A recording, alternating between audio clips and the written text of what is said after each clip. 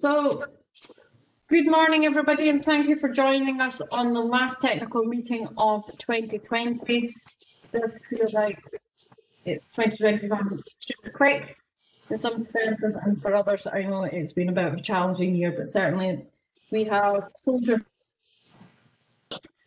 so today's event, um, let's say, is our last in season. So we're looking at game-changing offshore renewable energy projects. So slightly different from some of our more traditional type talks that feature oil and gas. So this one will be, and they're covering their presentations over the next half hour or so. We'll try and keep them to time, and then we'll have questions and discussion at the end, as per normal. Any questions you have for them as you're going through, as we go through presentations, pop them in the chat function, and then we can, or the Q and A function, and we'll pick them up at the end. So our first present, presenter this morning is Simon Cheeseman, who is the Wave and Tidal Energy Sector Specialist at the ORE Catapult. So I'm going to hand over you to you, Simon. You have 10 minutes or so. Note the 10 minutes or so. And uh, over to you, Simon, for your first presentation of the morning. Okay, thanks very much, Rebecca. Um, can you just nod if you can hear me clearly? Yeah, good, because the uh, the sound keeps uh, dropping in and out a little bit my end. But um, good morning, everyone, and welcome to um, this uh, webinar. Uh, as Rebecca says, my name's Simon Cheeseman. I work for the Offshore Renewable Energy Catapult.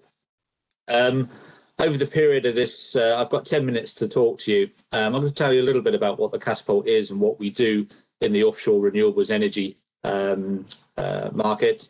Um, and then I'll um, I'll sort of provide a few links into um, the follow-on speakers as well. So Hugh Riddell from our organisation and also um, to Arc Marine and Tom Burbeck. So here's a little bit about me. So my background is really sort of uh, electrical electronic engineering and then going into um, program management, both in the public and private sector. Um, I got into renewables probably about just over 10 years ago now. I used to work for an organisation called the Energy Technologies Institute, which was in Loughborough. And um, that was a sort of public-private partnership looking at, um, with, with some of the big sort of renewable and um, oil and gas companies, looking at sort of early stage renewables. Um, since then, I've been working for the Offshore Renewable Energy Catapult. I'm their um, wave and tidal sector specialist but I also do a lot of work now in um, floating offshore wind, specifically focused down in the in the Celtic Sea off the coast of Cornwall. So let's have a quick look at um, the catapult itself. So um, headquarters in Glasgow, and then we've got our main sort of test assets in Blyth. And what we're really about is trying to drive down the cost of offshore renewable energy. So our sort of um, our, our, our, our sort of model is a, a model of collaboration with both um, academia and industry, looking at new innovation and looking at ways to drive down the cost for offshore renewables. That's both um, fixed bottom and floating offshore wind, wave and tidal energy. And increasingly, we now start to look at sort of energy storage.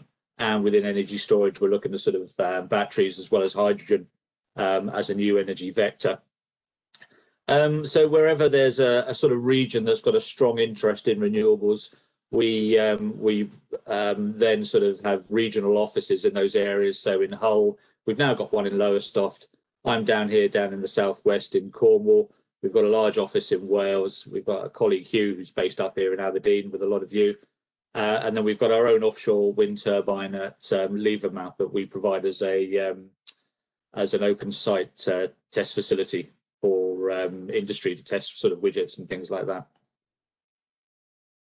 So trying to explain what the catapult does in, an, in one slide is quite challenging. So uh, apologies if this is a bit busy.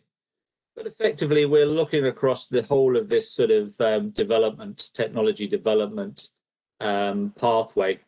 Um, and so, you know, we do sort of get involved in sort of basic principles and sort of technology concepts. We do a lot of um, technology assessment for new ideas that are, that are coming up. I suppose from a testing perspective, we tend to come in here about the, the middle range here um, for validating sort of technology. So our facilities in Blyth, um, we do blade testing. So we can test blades now um, that are in excess of 100 meters in length. And we're doing sort of structural as well as sort of fatigue tests on those. Um, we can do um, cable tests, um, so bending of um, subsea cables. Um, they can either be um, inert or they can be powered up. They could be in the dry or they could be in the wet.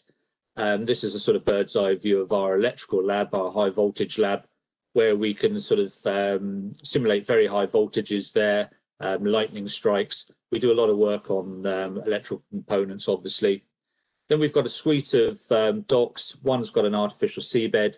Um, and so, in effect, anything that goes offshore, we can test it um, in, a, in, a, in a sort of relatively safe, benign area um, to make sure it functions as expected. Um, um, so we do a lot of um, sort of subsea infrastructure testing as well. And increasingly now we're looking at autonomous systems for both sort of asset surveillance as well as sort of data collection as well. Um, in the tidal sphere, we do a lot of work with the tidal energy developers and also wave developers. Um, obviously, our core business, I suppose, is um, in offshore wind and increasingly looking at sort of operations and maintenance. Um, those are the sort of areas where we work very closely with the supply chain. And I'm going to leave Hugh to sort of talk about our um, some of our work there. Um, but we also look at some of the, the futuristic stuff. So the section I work in is sort of research and disrupt, disruptive innovation. Um, so we're looking at the future and even sort of um, airborne um, turbines uh, of the future. So we cover a, um, a really wide gambit of, um, of activity. Um, our doors always open to new technology ideas. We're working with both SMEs, so you know, very small SMEs, as well as the large OEMs and offshore operators. Okay, so let's get on to um, more of the meat of the presentation then and talk about really offshore wind. Um, so, you know, there's no doubt that um, with the advent of, you know, the recognition of climate change, um, the, the, sort of dawn of net zero targets, um, that, um, and, you know, you would have seen offshore wind strike prices drop dramatically through the contracts for difference process that the government runs, which is an auction system for um, energy subsidy. But we've got quite a healthy um, um scope of um, offshore wind at the moment. Um, and you would have seen, or you may have seen yesterday, that Boris Johnson confirmed his his policy pledge about increasing the amount of uh, energy we need in the future. So what originally was 30 gigawatts by 2030 has now become 40 gigawatts of renewables by 2030. And the original targets for 2050 that were 50 gigawatts, um, the Climate Change Committee have now said that that really should be 75 gigawatts. So um, we're really pushing hard now for the deployment of floating offshore um, of offshore wind um, in the in the UK. So you know, what does our energy system look like in the future? This is what it sort of really looks like at the moment um, some fairly familiar numbers there, sort of dominated sort of by gas, uh, with nuclear as our sort of backbone. Um, but increasingly, winds, both onshore and offshore, starting to make a real impression um, there. Um, into the future, though, we expect there to be a much more, um, a much larger uh, wind component there, um, still with nuclear providing that back and a certain amount of sort of bioenergy and hydro and a limited amount of, of gas by then. And so what are we doing in terms of the powering that electric revolution that's required? Um, and I suppose I've, I've sort of adopted what we call a sort of three phase approach to this. So in offshore wind, you know, we've, we've got these, um, you know, really challenging targets now um, of 75 gigawatts by 2050. Um, we're expecting that to be able to be met um, not only by um, floating offshore wind, where we see a lot of that obviously in the North Sea and then on the west coast around sort of um, uh, Wales and um, Liverpool, um, but also then increasingly through floating offshore wind, and I'll cover floating offshore wind uh, in, in, a moment.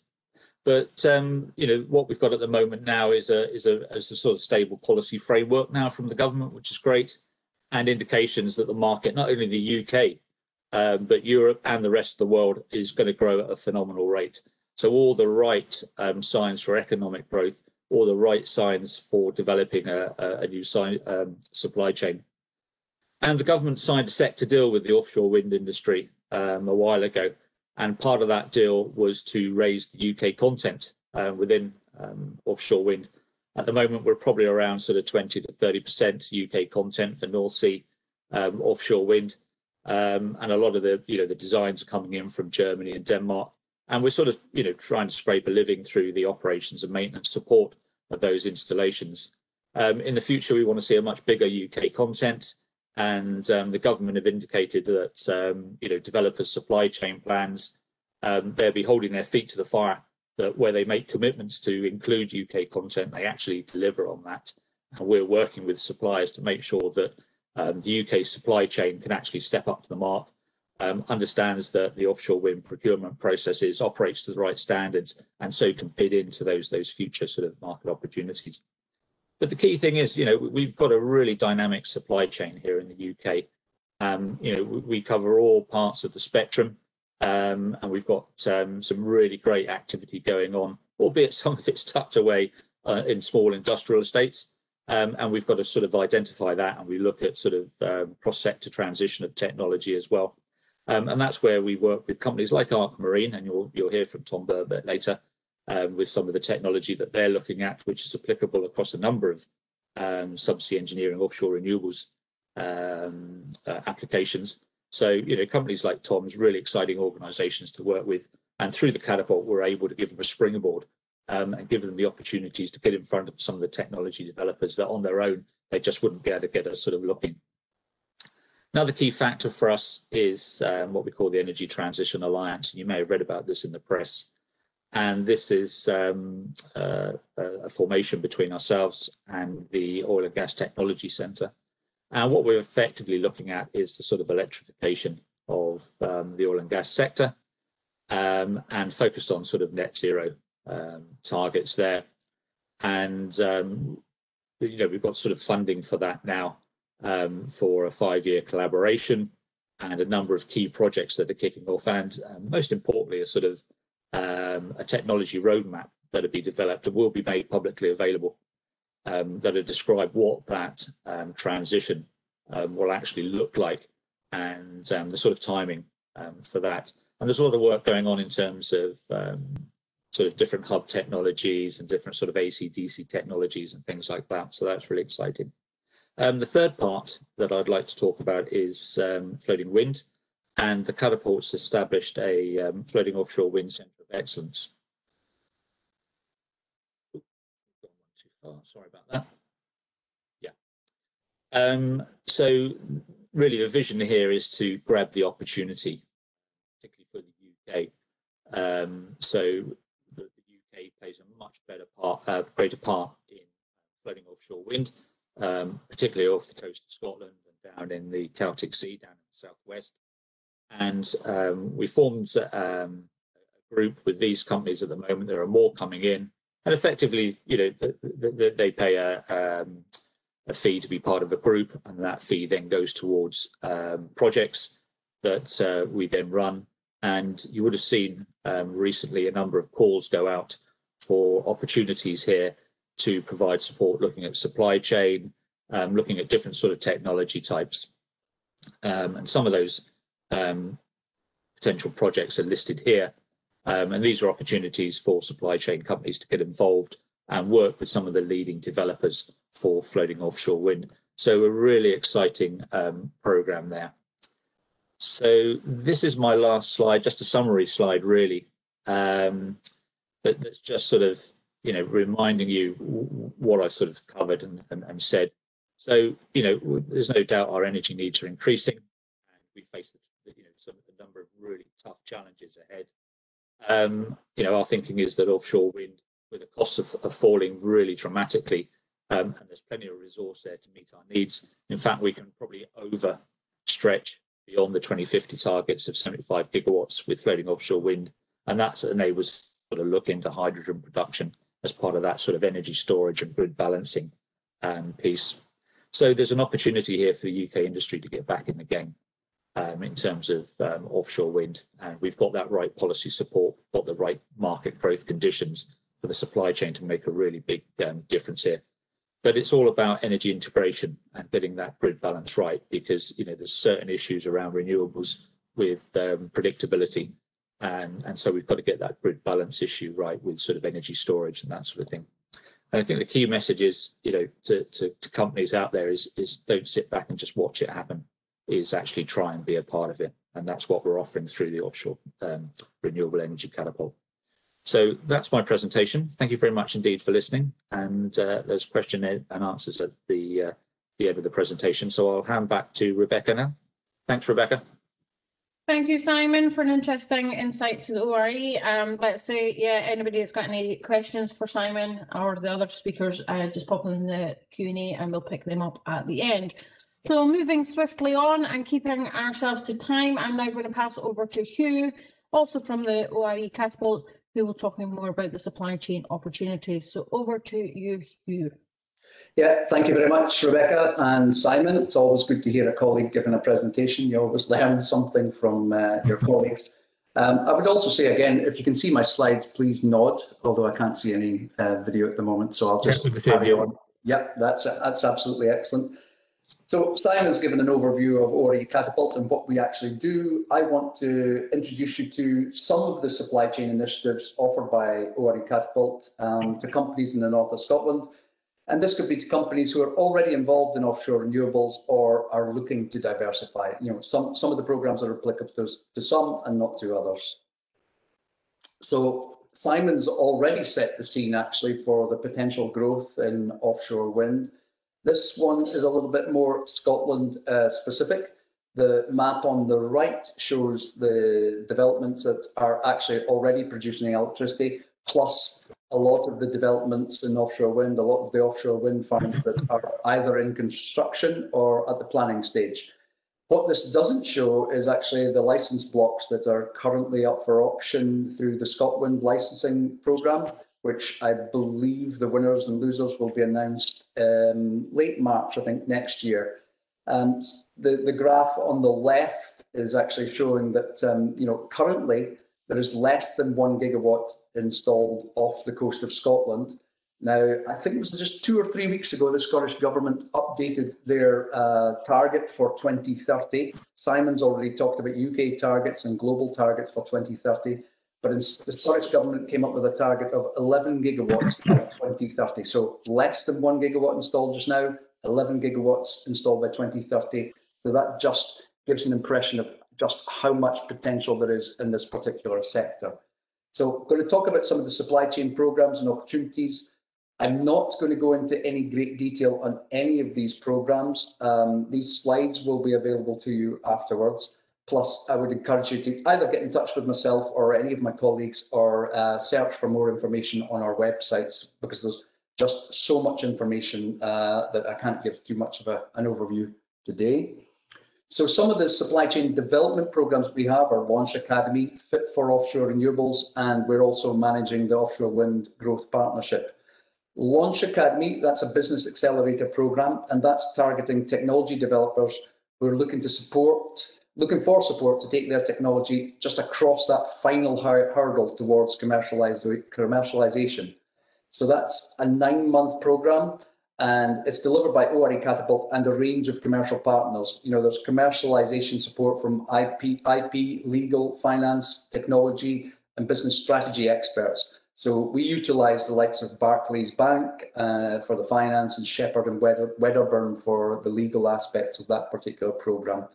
I believe we're just started the second cohort, and I think it's about nine or 10 companies who are going on to that.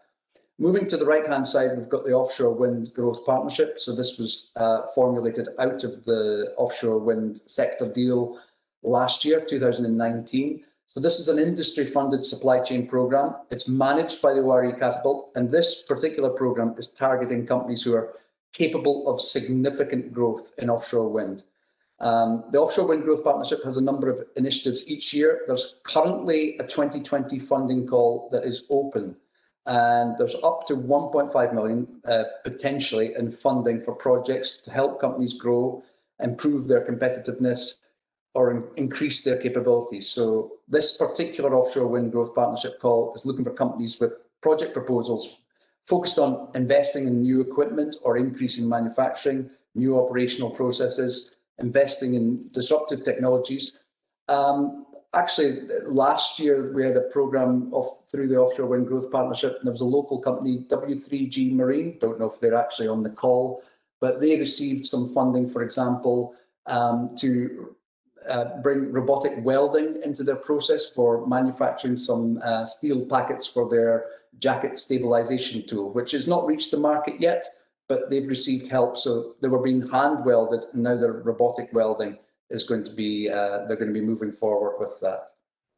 Um, so that's the Offshore Wind Growth Partnership. Fit for offshore renewables, as it says there, it's to increase the competitive competitiveness, capacity and competence of UK offshore wind energy supply chain and to support continued cost reduction in offshore renewables while simultaneously securing long-term economic benefits to the UK. Um, so this is a business improvement program, and that's aimed at supply chain companies who are looking to improve their readiness to bid for contracts in offshore wind. This is actually a 12 to 18 month program, and it's aimed at companies who possess or developing cross-sector or emerging technologies which can be deployed in offshore wind. There are two phases uh, uh, to this program. The first phase is business excellence, so that's establishing core business management capability and competence. Um, you go through a self-assessment there. There'll be an action plan drawn up with the help of an industrial assessor, and then there'll be some recommendations for uh, uh, improvements there. And phase two, that is actually sector specific. So this is relating to offshore wind. It's a blend of capacity building and sector specific assessments. Now, we've already held a pilot program in Scotland for up to, I think it was around about 20 companies. And pleased to say actually that the vast majority of those companies were actually based in the northeast of Scotland and had an oil and gas uh, background and were looking to diversify. Many of those particular companies found the business excellence module pretty straightforward actually because they had the necessary procedures and practices already in place to satisfy clients in the stringent oil and gas sector.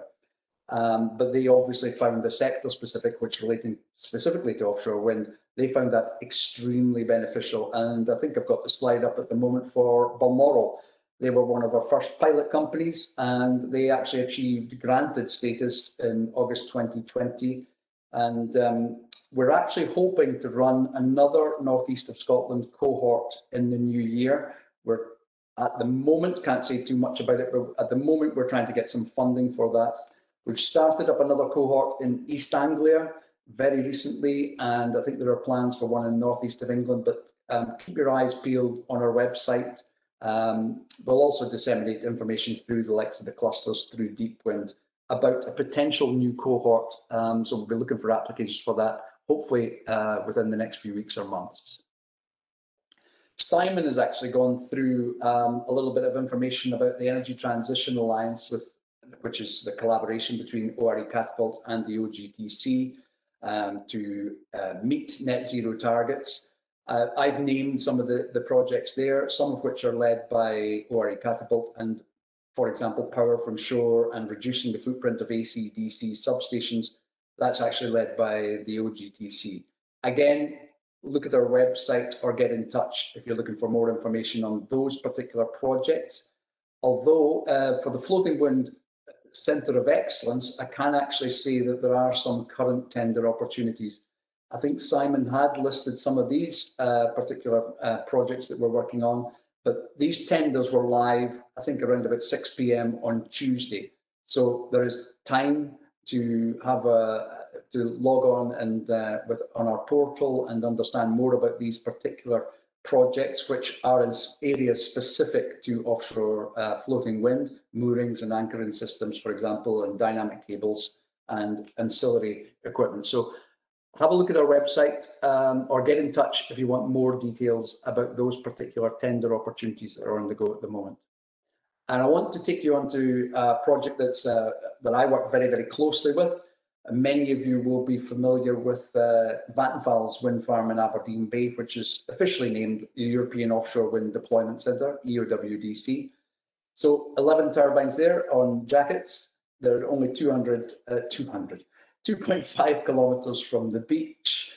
And um, these are still, at this very moment, they are the biggest and most powerful turbines at 8.8 megawatts operating anywhere in the world. So this is officially a offshore wind demonstration wind farm. Um, we have a three-year collaboration agreement with Vattenfall, and that's for the demonstration of new technologies. That could be on the turbines, on the seabed, for example. But we've got a three-year collaboration agreement, and we've uh, we're working very, very closely with a lot of UK innovators so that they get this unique opportunity to demonstrate their technologies on one of the most advanced wind farms there is in the world, and it's a real world environment. So the whole collaboration is about how to advance cost reduction and improve safety in offshore wind. Um, there are many motivations and benefits behind this collaboration agreement, but for SMEs, and maybe some listening today, you know, uh, this is a, a, fantastic opportunity for a technical demonstration in a representative commercial environment. It's a direct business development opportunity with Vattenfall. Um, we've had the go ahead for a number of projects, unfortunately due to COVID-19 and restrictions on uh, numbers of people who can actually go offshore in the CTVs. We have been quite restricted in what we can go ahead with. But one local company, James Fisher AIS, who have their return to scene software for 360 degree imagery of uh, turbines, they've been very successful in the offshore oil and gas business, doing 360 degree imagery of offshore platforms and FPSOs, for example. But they got the opportunity, initially they actually did it with our own turbine at Levenmouth, but they got the opportunity to um, do the 60, 360 degree imagery for Vattenfall in Aberdeen Bay. And Vattenfall are absolutely delighted with that. And in fact, the company has won some work on the back of that. I think last week it was, they did the substation at Black Dog, and I believe that they've got the go ahead to do some more work in one of the Vattenfall uh, wind farms. It's either in Denmark or, or Germany. I can't quite remember exactly where that one is. So as I say, we've got the go ahead for a number of projects, and they, they're they're quite diverse projects to be perfectly honest. You know, ranging from cable monitoring to thunderstorm detection equipment. And we've also got another local company, uh, Survitec. They're providing their evacuator emergency evacuation system, which um, we will be demonstrating hopefully in the next few weeks at EOWDC. And we've also, next speaker is Tom Burbeck of Arc Marine. We continue to have talks with uh, Vattenfall for the deployment of their 100% environmentally friendly reef cubes, but I don't want to talk too much about that because it's a fantastic technology and I'll be handing over to Tom to talk about that. So thank you very much for your time. Thanks, Hugh. Um, just before we hand over to Tom, again, any questions? For either Simon or Hugh, just pop them in the Q&A and I'll pick them up nearer the end. Um, and then I will now hand over to Tom from Arc Marine. I always say ARC Marine, but I'm now being corrected, so Arc Marine. So I'll hand over to you, Tom, and you can talk about your artificial reefs, which is an interesting concept, um, one that I do know quite a bit about um, of the various discussions we've had. So over to you. Perfect. Thank you, Rebecca. If I can do the uh, the standard if I can get a nod or a yes that everyone can see my screen okay. Perfect. Right. So, um, hi, good uh, good morning, everyone. Thank you for joining this call. Uh, my name is Tom Burbeck. I'm the CEO and co-founder of Arc Marine. Uh, my background is in commercial diving and aquaculture maintenance, so mainly the subsea inspection and installation of uh, shellfish lines uh, and inshore inshore civils inspections of pontoons, harbour walls, moorings, etc. Um, I'm here today, to talk about uh, Arc Marine, the exciting company uh, that Simon and Hugh have both kindly alluded to. Uh, so we're mainly involved in the design and manufacturing of nature inclusive design. So we do that currently all in house, uh, and we've got manufacturing bases in the southwest coast of England. Uh, one based in Truro in Cornwall, uh, the second one in Exeter, and we're currently looking up for a site uh, in Aberdeen. So we've also got mobile manufacturing capability, so we can go anywhere in the world uh, and make reef cubes. Uh, depending on the size, will warrant whether or not we manufacture in country uh, or ship our blocks um, from the UK. As well as uh, a hands-on approach to sort of making a nature inclusive design, we also carry out ecological monitoring services. So the pre and post uh, monitoring of ecosystems. Uh, as a commercial dive team, we have a full team available to do that, but we're also using more modern, modern techniques such as ROVs, BRUVs, and eDNA. We've got a really big, really big science team in Arc Marine uh, who are very capable, and they obviously offer scientific reporting that goes along with it. So we've all seen uh, the brilliant, beautiful pictures of reef systems around the world, uh, and most recently, unfortunately, the bad. So reefs that have been destroyed due to damaging fishing practices, uh, disease, and pollution. But what I'd like to talk about today is the ugly side of subsea protection. Uh, not a lot of people know that uh, during the 1970s, uh, in the oil and gas era and telecommunications sort of boom, um, companies were deploying these sort of assets subsea to protect cables and pipelines. And unbeknown really to them would be the hard job of trying to recover some of these products. So because uh, they contain high CO2 concrete, toxic materials, and often plastic, as you can see by most of these examples here, marine regulators deem them as marine litter. So they have to be removed during the decommissioning process. And to give you an idea on some of those numbers, uh, there's approximately 80,000 concrete mattresses alone in the United Kingdom continental shelf. And a report from G and OG UK have highlighted it as a massive concern that needs to be addressed, primarily because of the uh, the huge decommissioning cost that comes with it. So it's costing about eleven thousand pounds per mat to recover, plus a landfill charge, which is circa two hundred pound a ton, each mat weighing between eight and nine ton and it consumes just under four tons of diesel per mat during the recovery process using expensive DSV vessels. And this is a public issue as well as a industry issue because 50% of this decommissioning cost is picked up by the UK taxpayer in uh, in tax breaks. So it's a, it's a massive problem that we need to find a solution to. And what we don't want to happen is the offshore renewable energy industry to sort of make that same mistake um, to uh, that that's happened in the past. So for the past five years, we've been developing a range of technology to help solve these toxic materials. Uh, and at the basis of all our technology and products is our Marinecrete. And what we believe we can now do is replace the existing marine litter with a low CO2 and actually carbon neutral concrete, which is used with recycled materials and is completely eco-friendly. And what we think now is an opportunity for offshore developers is to have a positive marine legacy in every single project that, that they're a part of and actually now completely remove the decommissioning costs from their balance sheet, uh, which, as you can see from the previous slides, is, is a pretty hefty one at that.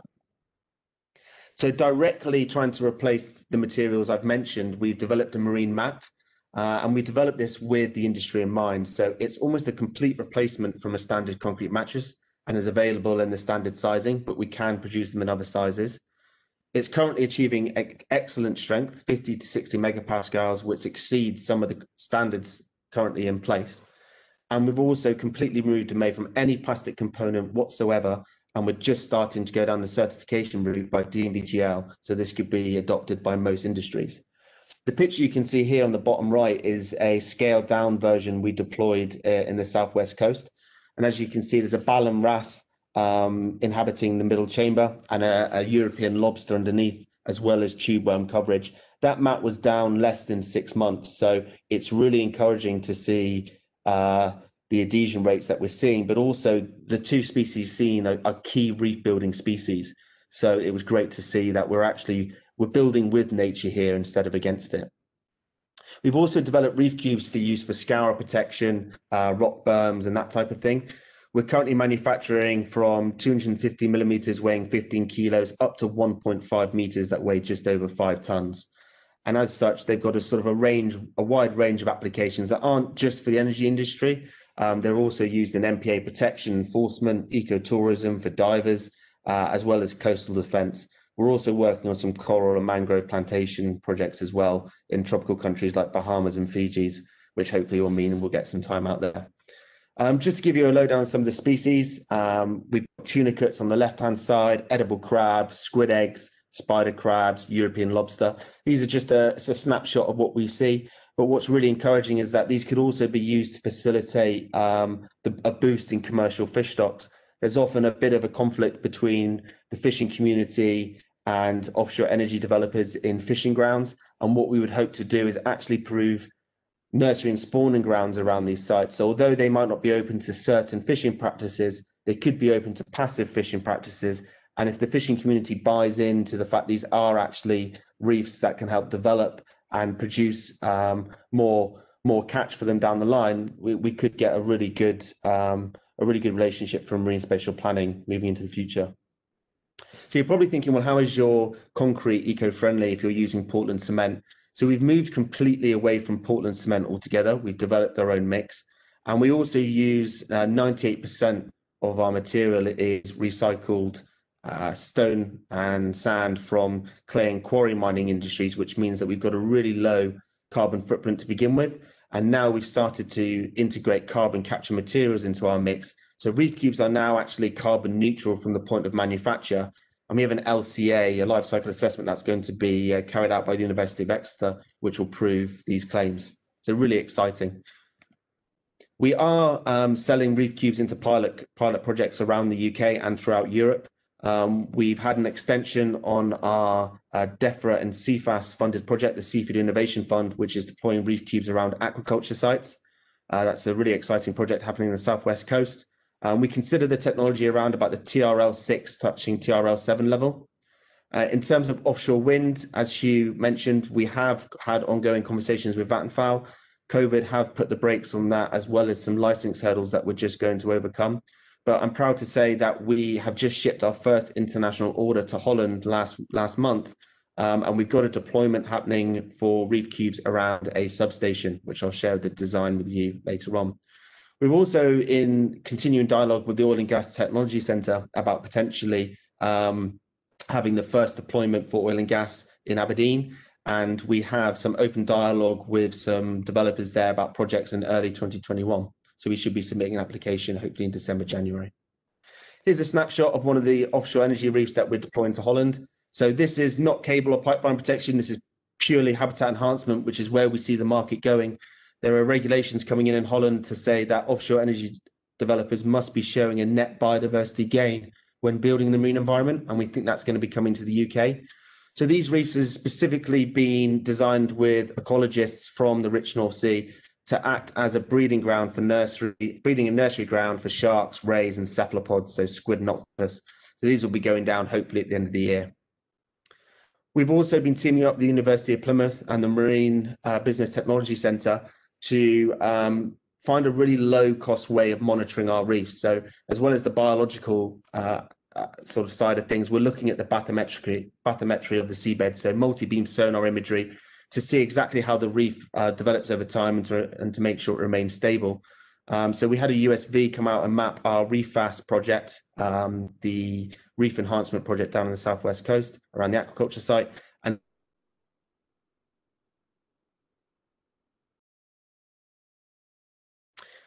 So as part of the team, um, I mentioned myself, but we've also attracted some um, big players from the oil and gas industry, uh, Steve Wright and Colin Black, who are helping us break into the energy industry and with our technology developments. And we've also got 60% uh, of our team are made up of scientists, so marine biologists, marine scientists, uh, and oceanographers from universities, uh, from the University of Southampton and the University of Plymouth. So that's it from me. Um, we're keen to speak to anyone about potential projects where Reef Cubes or Arc Marine could offer their services uh, and also partnerships. And as a SME, we're, we're also looking for investment. So back to you, Rebecca, and uh, we can answer some questions. Thank you, Tom, Simon, and Hugh for your interesting uh, topics of conversation this morning. So I'm going to open up the uh, discussions whilst we see what Q&A come in but certainly much for Simon. Um, I think we all know 2020 has been a challenging year for all of us, not just in business, but personally as well. Has that affected the strategy for the renewable sector? You know, I've been speaking to some people saying if they did a presentation, say February time, now that presentation thoughts are completely different. So have you seen that, that there's been a shift and a change because of the challenges we've had? Um, I think we had a we had a bit of a hiccup when when COVID first um, hit us and everyone went into lockdown. Um, a lot of offshore operations uh, were curtailed as a result of that. Um, and then when we did work out how to maintain sort of social distancing on vessels, when crews came ashore, there was no hotels for them, there was nowhere to eat. Um, so, so we had a bit of a lag until we worked out how to operate under those conditions. Um, I think you know now we're we're back on. I'd, I'd say you know the, the, we're, we've got our foot back hard on the accelerator. Um, and as you would have seen from the government's 10 point plan released yesterday, you know, some things that were aspirational and were mentioned in the Tory manifesto are, are now being backed up um, with hard policy. Um, and there's a lot of, um, you know, we've had a um, uh, contracts for difference um, uh, uh, consultation um, that kicked off in March earlier this year. Um, and we're waiting for the results of that. We think that will move uh, fixed bottom offshore wind into a different pot. Um, that will enable floating offshore wind to substantiate. Um, so all, all the signs are very, very positive at the moment. Um, and what we're seeing is that, you know, around the rest of the world, um, you know, things are con- con- continuing. You know, there's a big push in um, France for um, offshore wind at the moment. Um, the United States, you know, you, you'd have seen Tom Biden talking about their sort of um, green renewables policy, and certainly in Asia, um, things are picking up. And there again, there they came back online quite some time ago. So I, th- I think there was a bit of a stummer, um, but you know now we're we're we're hard at it again. Perfect, thank you. Let's say yes, I know it's been challenging and a, a different way of working for lots of us and our businesses. So that does take me on to maybe Hugh, um, obviously the supply chain, um, and I don't know who the participants, but some, some, some SMEs might be on here or, or certain comp- uh, companies that work in oil and gas. So have you got any advice for companies that are maybe thinking about branching out into renewables? Because uh, we see it from the OGTC's point of view, we do see a lot of companies that have always been traditional oil and gas companies, service companies or engineering companies and say, well, I don't really know how to get into the renewables and there's maybe some challenges associated with that. So is there any advice that you'd have to some of these companies that are thinking about potentially branching Yeah, out it's- by it's- next year? It's it's very much a daily occurrence for me. Um, I'm talking to companies every single day who are either at the very start of their journey or they've won a small order, but we really want to get better connected. So I'm talking to companies every single day who are looking to diversify into offshore renewables. I think that's primarily because uh, most of the companies I deal with are already in the oil and gas industry. And one thing that's absolutely certain in oil and gas is there's going to be another downturn around the corner. They used to be every seven years, but it just seems to be one downturn after another at the moment. So they're obviously all looking to diversify. My main advice would be yes, get in touch with people like ourselves, with myself or Simon, depends where you're geographically located. But um, through the sector deal last year, there was the establishment of eight um, regionalised clusters in offshore wind. So in Scotland, for example, we've got one called Deep Wind north of Scotland north of Scotland, it's a very loose term, but deep wind, it's called that because it's going to be not, it's going to be quite a bit of focus on floating offshore wind, which Simon was mentioning earlier, because a lot of the ScotWind license blocks that are up for auction at present are going to be in waters, I think it's about 70% or deeper than 55 metres. So that suggests that, you know, it's not going to be bottom fixed offshore wind, it's going to be floating offshore wind. And there's Forth and Tay, which looks after a lot of the supply chain engagement for developments down the east coast of Scotland. So I would say, yes, get as well connected as we possibly can. A lot of us are webinared out, if that's a, a phrase at the moment, but hopefully there are positive signs that there's going to be networking events by summer next year. Deep Wind and Forth and Tay and the other clusters that are emerging down in England of Energy Coast, northeast of England. There's New Anglia, there's Celtic Sea. I better mention that one with Simon being on here as well. Um, so yes, get better connected. They're fantastic events. They set up events for supply chain engagement. They set up events for meet the buyer and networking events. It's it's all about getting to know who your potential customer is going to be. So that's either going to be the operator or it's going to be the tier one contractor, might even be the tier two contractor. So getting better connected and talking to people like ORE Catapult to see if we can help you with some of the supply chain initiatives. Perfect. And I suppose it goes the other way as well. You've got companies working um, in the renewable sector that may want to come into oil and gas because there is still an oil and gas industry out there. So That is true, but I would say it's more the other way around. There's no doubt about that. yes, we are seeing that. Um, before I go over to Tom, because I've got a couple of questions for him, but certainly uh, this one's a bit more um, probably for you and Simon to look at as well.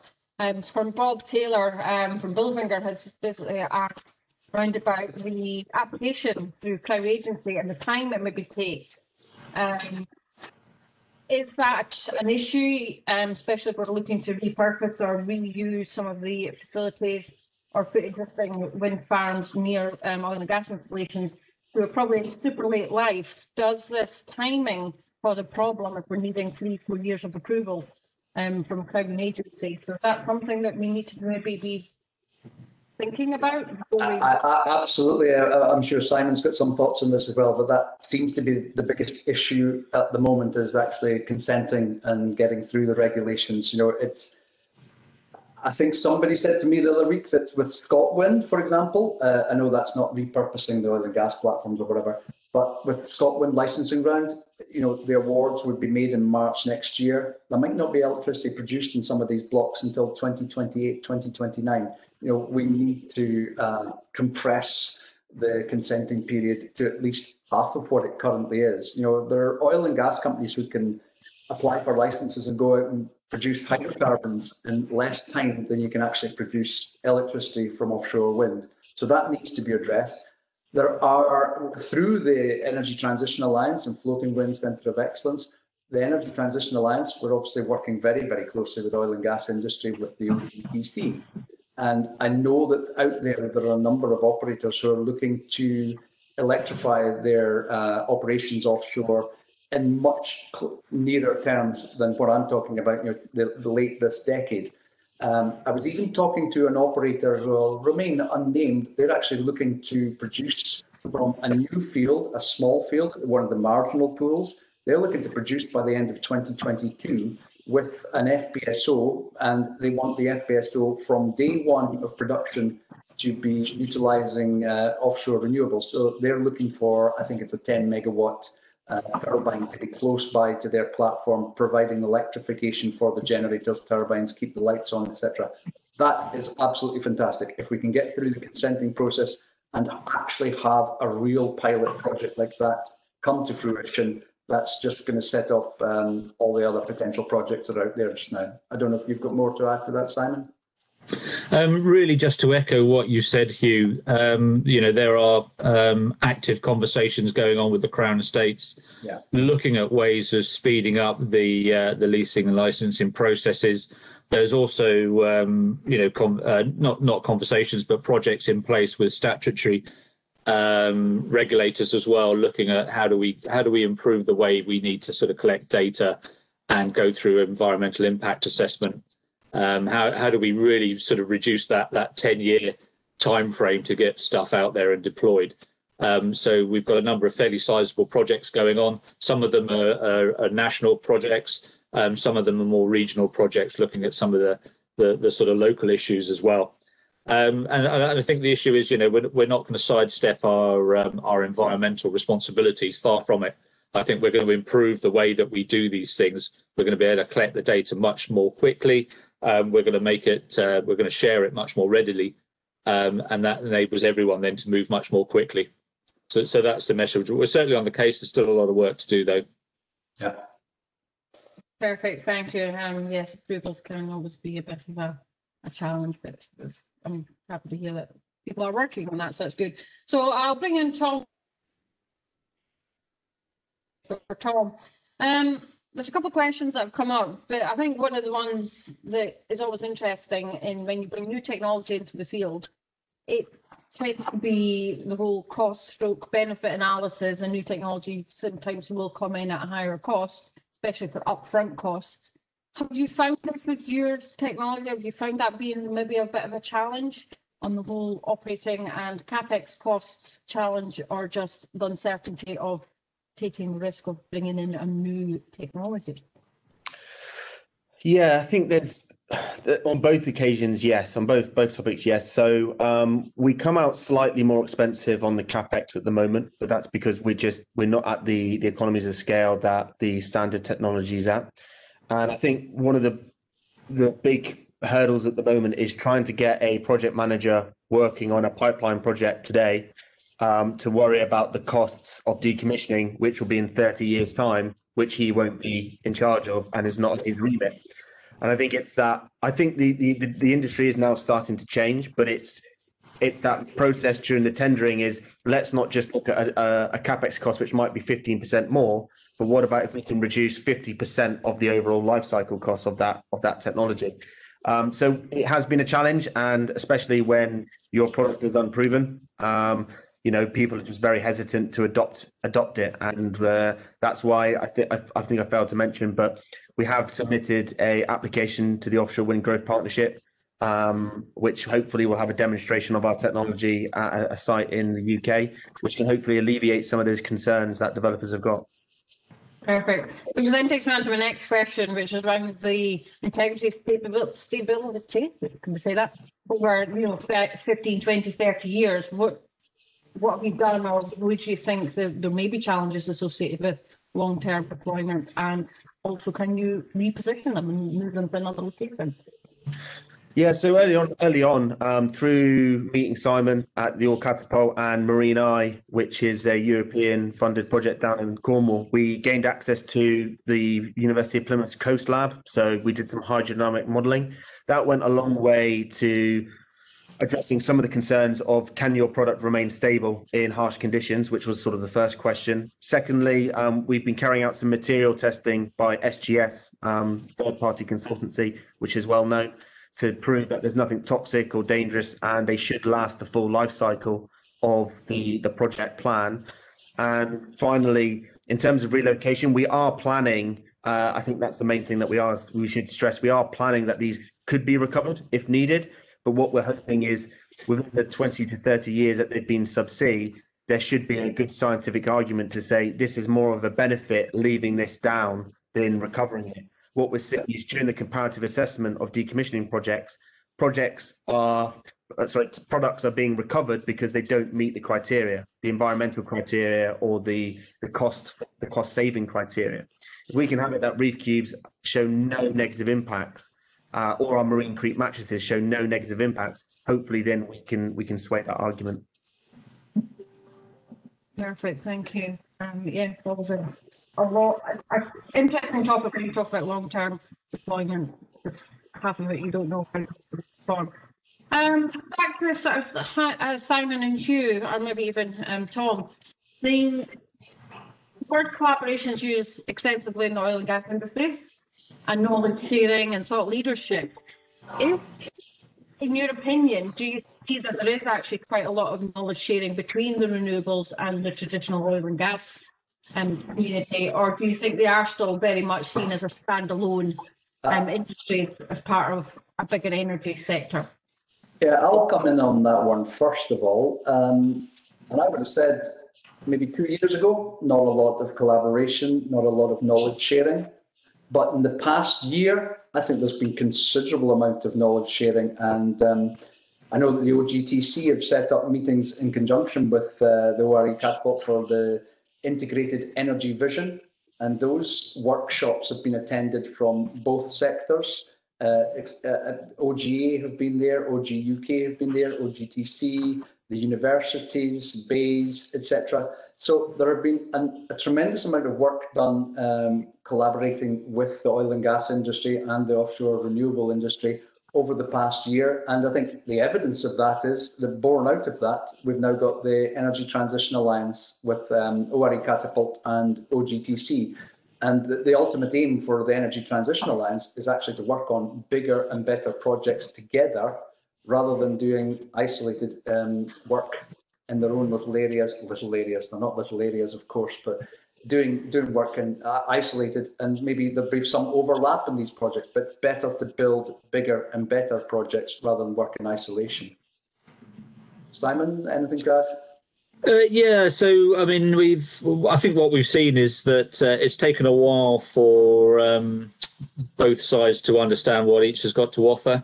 I, I think you know there, there's some subtle differences with with offshore wind. You know, it, it's shallower water um, more oxygenated, invigorated water. Um, working conditions are different. The, you know, the, the, pay structure is entirely different. Um, and, you know, th there have been some hurdles to overcome and it's taken a while. but but there are quite a lot of success stories as well. And uh, even in the um, the tidal energy sector, um, we've seen oil and gas companies come into that sector and um, bring experience and learning. So you know, it's really really valuable, um, and it's it's something we need a lot more of. And Rebecca, I would also add that your boss, your CEO, Colette Cohen, was the guest speaker at our uh, annual conference in October 2019.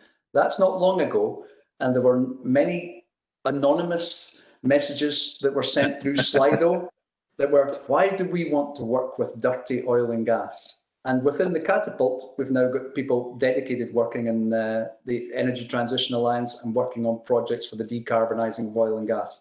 Things have moved on a long, a, a huge amount in the past 12 Yeah. months, I would say. Yeah, and there's been a couple of comments and questions about uh, people saying, how do I transition my career from oil and gas into um, renewables, or how do I, as a graduate, be able to get into the renewable sector? Um, certainly, from my experience from OGTC and as part of the Energy Institute's sort of chair position, to me, for anybody coming into in- industry, I always say look at it as the energy sector rather than an oil and Yeah, gas or renewable, yeah. because Yeah, most of our ab- yeah, skills absolutely. and most of our skills, and cer- certainly, I mean, I'm, to background, I'm a mechanical engineer, stroke integrity engineer. Whether I'm looking at a platform oil and a fi- fixed floating wind turbine to an oil and gas installation that's either producing hydrogen or still producing hydrocarbons, to me, it doesn't really matter because it's an engineering problem, and uh, there's been recent um, discussions on that. So maybe Tom, for you, as a small startup company that's working in both sectors, do you see yourself as an oil and gas service company, SME, or uh, renewables, or are you just an engineering or potential engineering? If I know you're more on the marine side, but where do you, where would you see yourselves as being in this picture? Yeah, we would, we would describe Arc Marine as an eco engineering company which services the offshore energy industry. I wouldn't define either or. Um, I would say there is some negatives about being associated with the oil and gas industry from a, a marine conservation point of view. But we're we're under the we're under the impression that you know the oil and gas industry has brought us to the modern world and it's responsible for a lot of good things as well as some of the bad things. And it's a transition. So we need to make sure that as an eco engineering company, we can do everything to transition from oil and dependence on oil and gas over to offshore wind. And if we can help both sides of the coin, then it's a win-win for the marine environment. I would say on, on the topic of is there a lot of shared learning? I would say I'm I'm quite and we're quite niche in what we do. We, we don't have the broader scope that um, and Simon have in terms of seeing the whole supply chain. But I would definitely say from an un, from an underwater diving engineering point of view, I would say there's definitely been a lot of lessons learned, and I hear a lot of conversations saying, you know, you think you'll be able to do that, but you won't um, between between people. And I think that's from the experience of oil and gas, which offshore wind is benefiting from massively. You know, oil and gas have had to make some probably very expensive mistakes, which offshore wind have have probably had their own in a different way. But I think they've had a lot of a lot of free learning from oil and gas. Thank you. I'm just conscious of time and we're just coming up to the end of our session. And I'm sure lots of people have uh, other things to go on to or go back to the day job. So uh, once again, I'd like to thank Simon, Hugh and Tom for your presentations today. To our audience for dialing in, the um, presentations will be available online and the recording will also be available to you to come back to.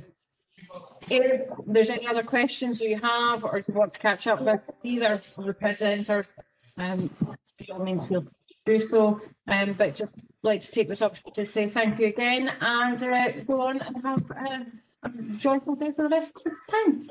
And I will see you all later. Okay, thanks very much, Rebecca. Thank you, Rebecca. Bye. Thanks, everyone. Cheers. Thank you. Cheers, you. Cheers, Tom. Cheers. Bye.